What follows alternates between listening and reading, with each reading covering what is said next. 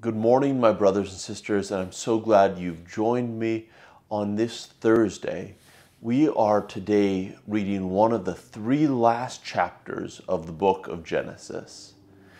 You may remember this, this interesting theme that has played itself out again and again in different generations of the tension between an elder sibling who was expected to receive two thirds of the inheritance, who was expected to be the primary carer of his family name, carrier of his family name, and carer for his mother and his sisters after his father passed away.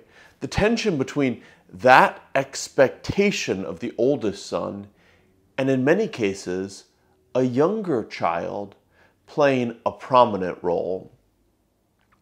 Today we read on a about a continuation of this theme. We're going to pick up at the 10th verse of the 48th chapter, reading about Jacob, who's now an elderly man. Jacob was half blind because of his age and could hardly see. So Joseph, that's Jacob's son. So Joseph brought the boys close to him, and Jacob kissed and embraced them. Then Jacob said to Joseph, I never thought I would see your face again, but now God has let me see your children too. Joseph moved the boys who were at their grandfather's knees, and he bowed with his face to the ground. Then he positioned the boys in front of Jacob. With his right hand he directed Ephraim towards Jacob's left hand, and with his left hand he put Manasseh at Jacob's right hand. But Jacob crossed his arms and reached out to lay his hands on the boy's head. He put his right hand on the head of Ephraim, though he was the younger boy, and his left hand on the head of Manasseh, though he was the firstborn. Then he blessed Joseph and said, May the God who before my grandfather Abraham, my father Isaac, walked, the God who has been my shepherd all my life to this very day, the angel who has redeemed me from all harm, may he bless these boys. May he preserve my name and the names of Abraham and Isaac, and may their descendants multiply great, greatly throughout the earth. But Joseph was upset when he saw that his father had placed his right hand on Ephraim's head. So Joseph lifted it to move it from Ephraim's head to Manasseh's head. No, my father, he said, this is the firstborn. Put your hand right here on his head. But his father refused. I know, my son. I know, he replied. Manasseh will also become a great people, but his younger brother will become even greater, and his descendants will become a great multitude. It's interesting that the person who is sensitive to this tension between this elder brother and this younger brother is Jacob. Jacob, it's, it's slightly unusual because he's giving his blessing not to his children, but to Joseph's children, to his grandchildren. But it's interesting, as I said, that it's Jacob who's sensitive to this possible tension between the expectations of the eldest child and in cases where, you, where a younger sibling surpasses the elder.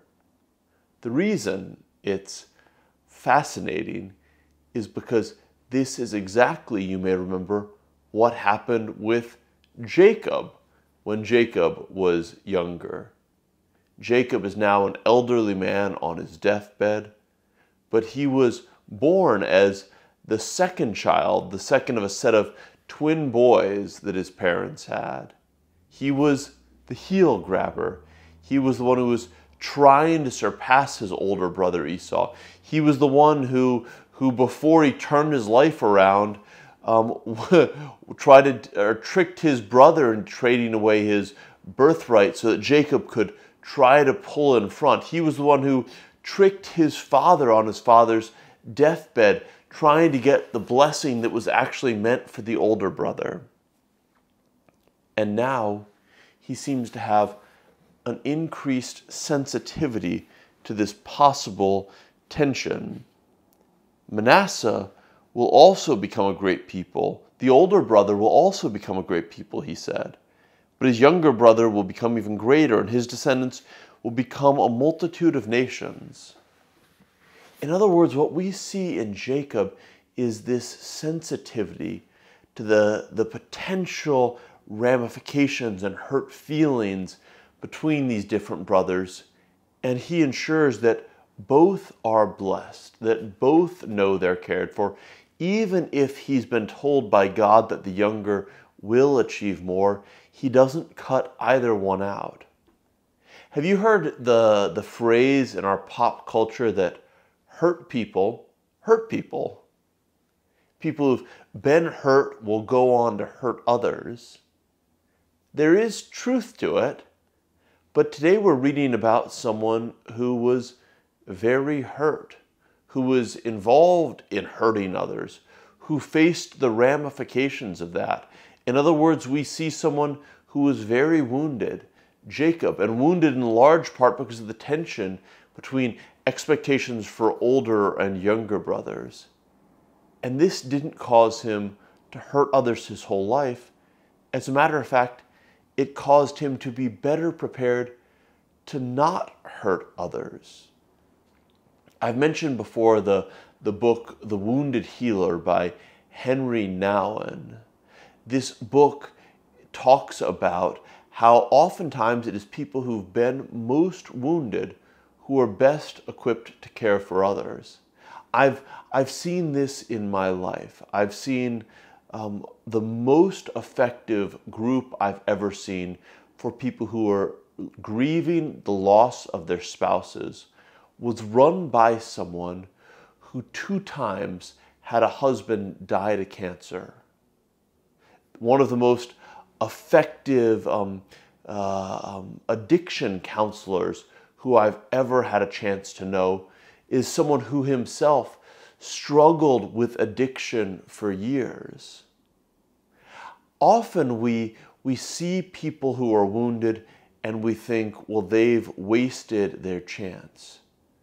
We, may, we could have looked at, at Jacob and said, look, this is someone who has had so much emotional conflict about being the younger child and, and surpassing his older brother that he could never have the sensitivity. But that's, that's wrong.